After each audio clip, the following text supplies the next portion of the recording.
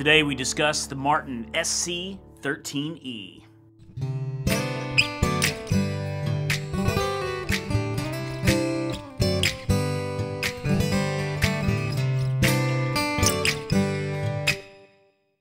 Hey, James G here with Tarpley Music in Fort Worth, Texas. You can find us online at tarpleymusic.com. Please do us a huge favor, subscribe to the channel below if you haven't done so already. Just a little click, it helps us uh, quite a bit. So, Martin had a great idea that they wanted to try to get a guitar for predominantly acoustic guitar players, especially once you do a lot of soloing and a high uh, neck playing um, that was really, really comfortable to play because traditionally, acoustics would have a heel right here that tends to get in the way of your arm and then the cutaway being at a certain point.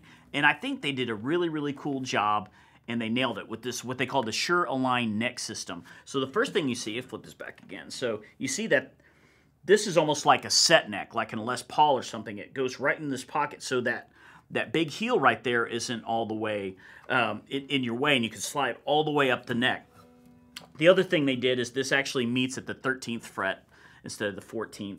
And the other thing is this S body shape, right? If you look at it, it's got a little bit of an angle down here instead of this round bowl here. So they were able to move this cutaway. I can easily get to like 17, 19 very, very comfortably. And I do quite a few acoustic gigs where I'm having to do a lot of soloing and lead playing, so I, I noticed that right away. I'm like, wow, I can get up to 17 or 19. It's, it's very, very effortless. But with this S shape, they were able to keep a lot of the body because you're losing some here with the cutaway. You get this S shape, so you still see or feel it way back here, and you still get a lot of that huge sound. So the guitar still sounds really, really huge. Um, the other specs for it, it's a Sitka spruce top, of course, solid Sitka spruce. This is actually a Koa veneer.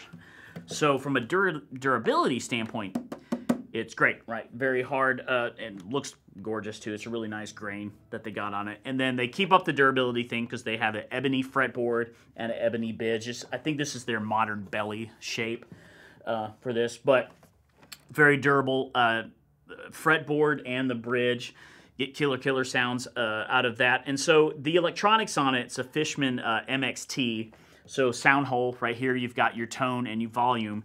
It's got a built-in tuner, which is really, really killer because you can just look at it and it's a beautiful shot. You just look down right in the sound hole and you'll see when the tuner is on. And it's very easy to see. I can literally just, boom, right there I can see uh, what note I'm on. And when you uh, turn on the tuner, it does it, it shuts off sound as well, so you can tune and it's going to shut off from the uh, the PA system or whatever you're going into. Uh, very flat neck, so it's a 16 inch radius, uh, so it's the right fretboard to play um, for chord playing on acoustic as well as your solo playing, of course, because this is really designed for that. I mean, I'm easily getting up here 19, I mean, it just, it's really, really comfortable to play. So the other cool thing about this is the low profile uh, velocity neck that it has. So on the back here, on the lower strings, it's a little thicker, and then the higher strings, uh, it's a little thinner down here on the nut. What that does is as you go up the neck, that actually reverses. So once you get up here, you start getting more of your weight here, which makes sense because if you're up here playing higher notes, you want more girth to be able to stick into, and this little thin here. So it actually starts off this way and then it almost does uh, like that. So it's a really, really cool idea. And at first I was thinking gimmick, right? That's probably gimmicky. But then you start playing, you're like, not gimmicky. Uh, it actually, it makes a whole lot of sense because when you're up here, you want, you're not so worried about the thickness up here you there. So uh, really huge win into that. Not to mention this guitar sounds really, really good uh, both direct and mic'd up. So we're going to hear it uh, played several different ways, a couple different mics and direct, and uh, you'll hear the beauty of this. So right now we just have the guitar going direct. It's going right into a direct box, right into the Focusrite interface into Studio One, just to give a nice direct sound. The tone knob and the volume are all the way open.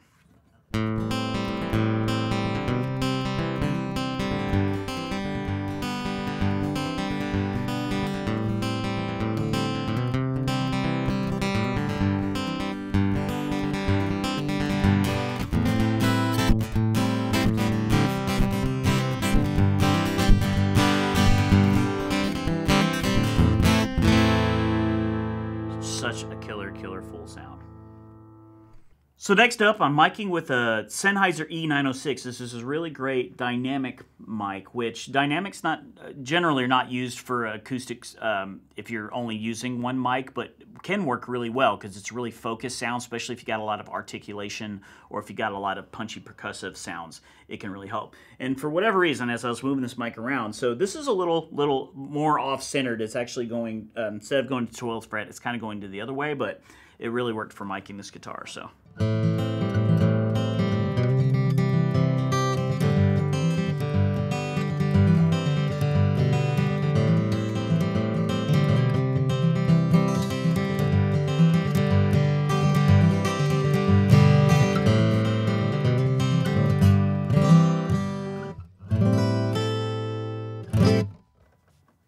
So next what we're going to do is we're going to put the direct signal back in. So you're going to get a combination of what you just heard with the original uh, direct signal.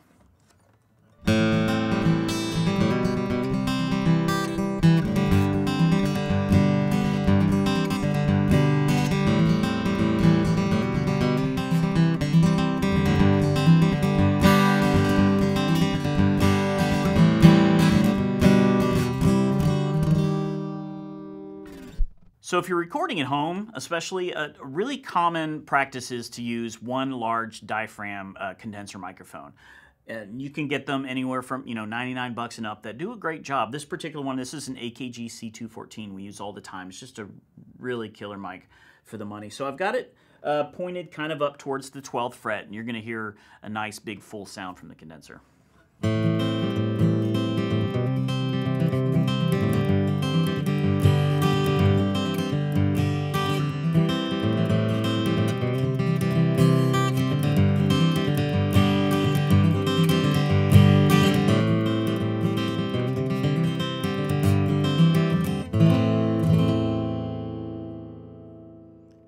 Not like we did before, we're gonna add that direct signal back in again. So you're gonna hear the direct signal also with the condenser.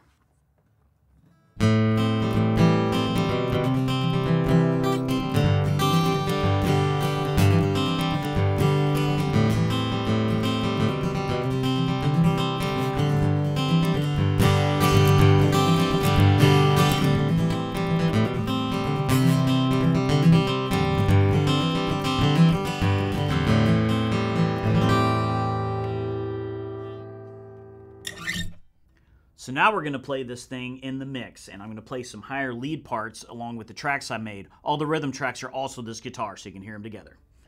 Let's hit it, boys.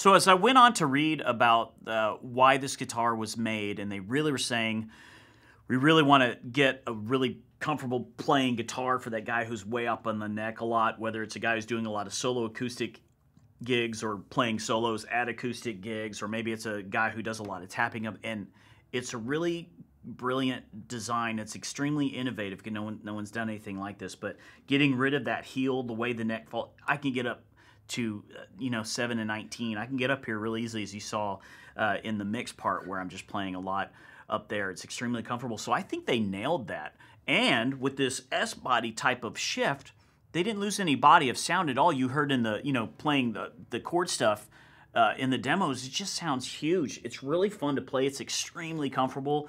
Uh, this low profile velocity neck thing they did it's really cool. Uh, it's like you almost don't even notice it until you go to another guitar and you're like that a neck that maybe is just pretty standard kind of a shape. So anyway, we'd love to have you down. Come down to Tarpley and sit down and play this guitar and feel for yourself. Ask us any questions that you might have. Uh, we'd love to see you. So I hope you learned something from this. You got some interest in this guitar. If you did, please like the video below. Uh, subscribe to the channel if you haven't done so already. It really, really helps us out. We really want to get uh, more information out there. And if you'd like to know as more videos hit, just turn on notifications and we'll see you on the next one.